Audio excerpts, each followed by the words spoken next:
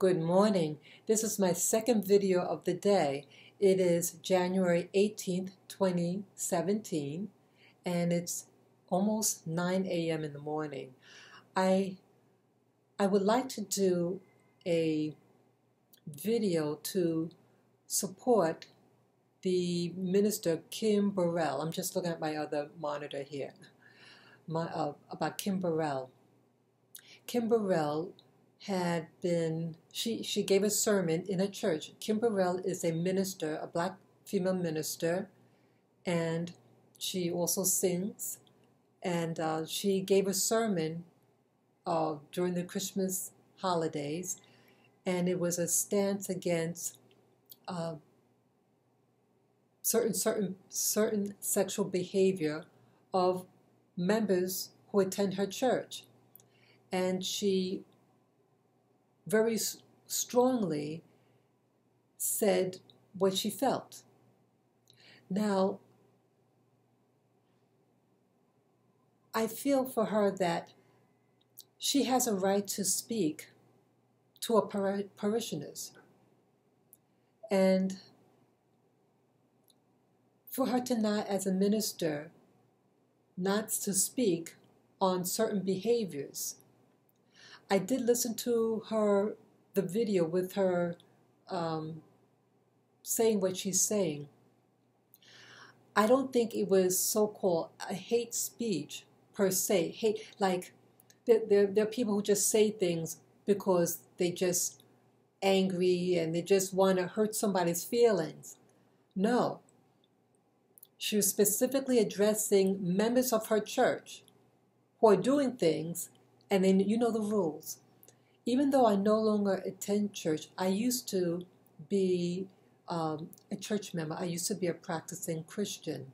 I used to follow the, the church, and in particular the black church. Mostly it was Pentecostal in background. But for about three years, I, I left the church, but I'm seeking spirituality. I, I'm not into religion anymore, but I want to search and find truth that I am to live by. So even, you know, I just felt that, that important to say that. And I didn't know who Kim Burrell was, but I heard about her recently and pertaining to comments that she said to the members of her church. As a leader of her church, she has a right to speak to those individuals and she has a right to remind them when, when we go to church, we basically know what the what the do's and don'ts are in the institution of the Christian church, and so you you know that, and if you go to go in her church, and then have any lifestyle, she has a right to address it. So what she was saying was not to just embarrass people, whatever, or what you call a hate hate rant She's a leader of her church. And if you don't want to, if you don't agree with uh, Orthodox Christianity, then don't go to church. Don't go. And so I felt that even though I no longer attend the church, but the fact that it was a, it's an institution, and Black Americans they don't have a lot of institutions that they can go into. And the black church has been a haven for American blacks from day one upon our arrival in the Americas. It's the only place that we could basically safely congregate, you know? And so she, uh, or Pastor Kim Burrell, I'm, I'm not sure what her title is, but she has this institution. And all black people know, any any church goer knows certain rules. And one is about, you know, sexual purity and everything that comes under it. We know what we're not supposed to do. We, we know about the Ten Commandments. So if you don't want to follow that, then don't go to church. You know? And I, I don't know who posted the video on her, but I feel that Kim Burrell was attacked. She, uh, the person who posted the video of the, the sermon, it prevented her now from getting guest appearances on television. And, and, and in general, I, assume that when you being guest on a show, you know, you might get paid for it. Or by not being on there, then it's less exposure and less publicity for her. And, you know, it affects her sales and income, you know. So I just thought it was a, a low blow for the person who posted it. And if you really felt that against what she was saying, then that individual who taped it and posted it, you instead should have gone to her directly as a man or a woman and say, Look, I don't like what you said about people in certain lifestyles, and in specific homosexual lifestyles. Okay? That you would have been it would have been fair for you to address her one on one. But what you did I thought was deliberately to hurt her and to vilify her as being a you know a, a hater or bigot you know she's a pastor i'm sure as a pastor she has a lot of people come to her with a lot of temptations or things that happen to them people who get pregnant people who get sexually transmitted diseases which is rampant in the black community in particular it's rampant and i remember when i used to go to church particularly in the, in the caribbean that people would have sex in the church itself, young people, children.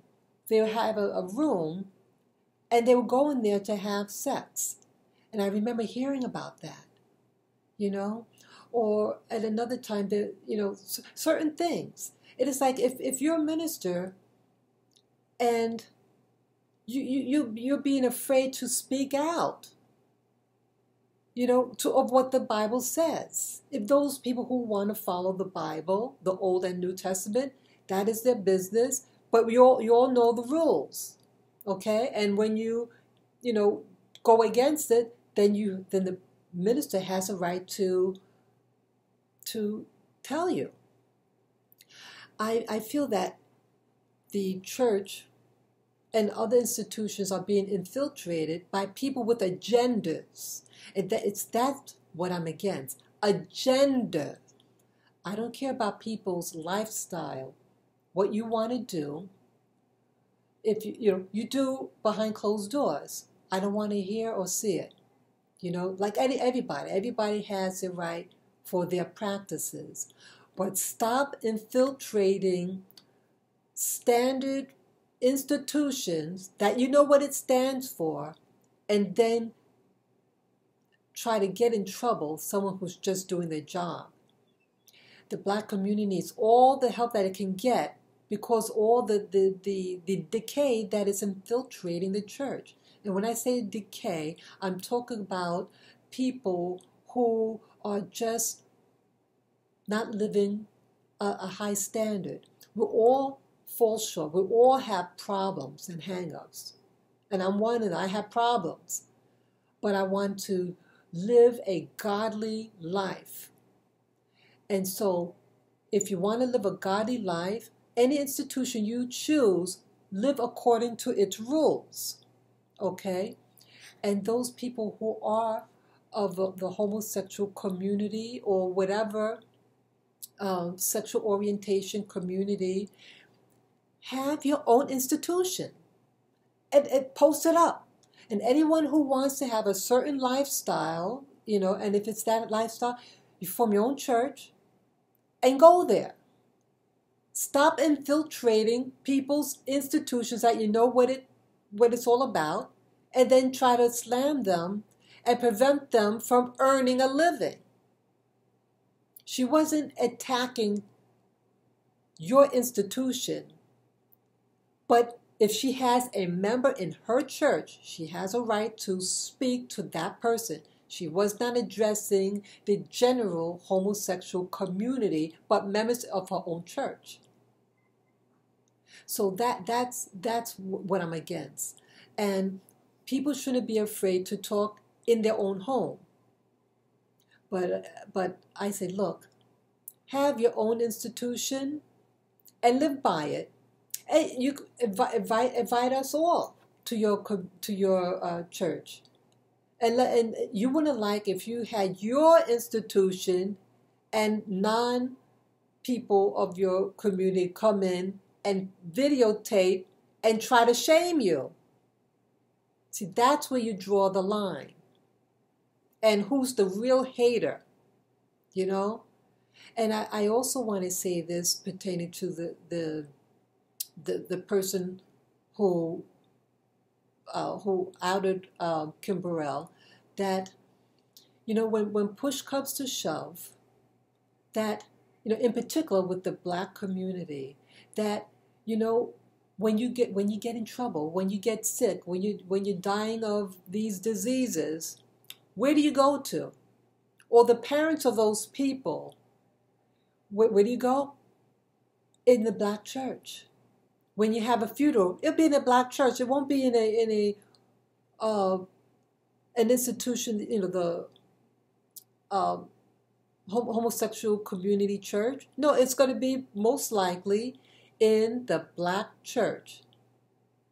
And she's going to give you a sermon, or he's going to give you, a, you know, what do you call it, a, to, to, to pray, you know, at the funeral. You know, don't don't throw her under the bus. You know, don't do that. And for other black ministers out there who's not backing her, what the, I heard her speech, you know, it was a, a snippet of the speech. See, they're not they're not brave enough to put the whole sermon, but just a snippet to to make a look uh, to put it out of context. But I, I'm not hearing any of the black ministers out there to her defense. Shame on you, black ministers and white ministers and yellow and red Hispanic ministers. What she said was standard of the church about its members. What happens outside of that church is nobody else's business, but what's in your home is your business. So speak out.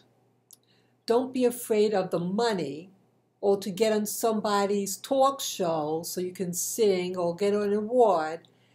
You have to stand behind what you really believe in. If you believe in the Christian Bible or the Jewish Bible or the Muslim Bible or the Buddhist Bible or the Hindu Bible, whatever what faith system, keep the standard of your religion and stand by what it says. And those ministers who aren't speaking on her, her behalf, you're saying that you are afraid of 1% um, 1% um, people in this country. I think the homosexual community only makes up maybe 1 or 2%.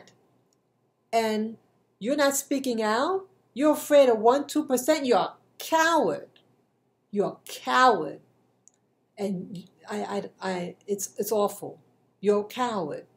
Then it's not a church anymore, it's a hangout for anything goes. Don't offend anybody. Don't say what the word says. And I say to say outside what the Bible says if you believe in the Bible. You go by what it says. And those people who don't agree, you know, tell them, get out. Get, get, get, get an invitation. Say, you know, Kim Burrell said what she said. Those people who don't agree, please leave. Just like that. But they want to stay. Be be a man and woman, form your own institution, and and let us go see what you're all about. If you like what you're about, stand by what by what you believe in. But let us who don't believe in certain lifestyle or institute, you know, let us let people have their institutions and you have your own. Stop trying to infiltrate other people's institutions.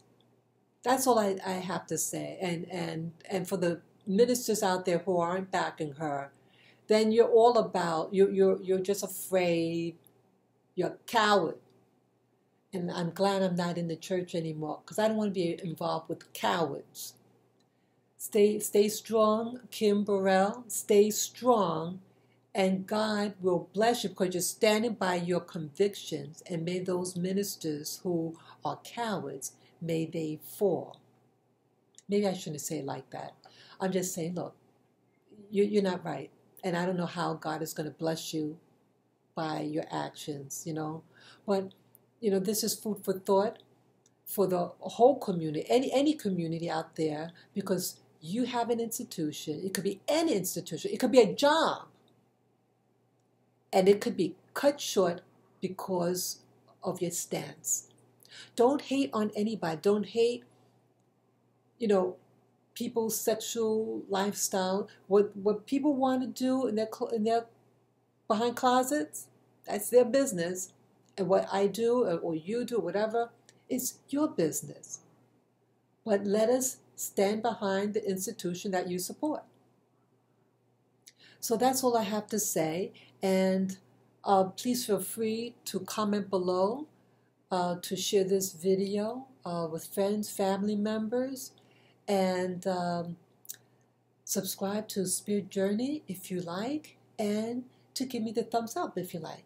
Take care enjoy the rest of your day, and peace and love to all on this planet because it's a struggle for all of us. Bye bye.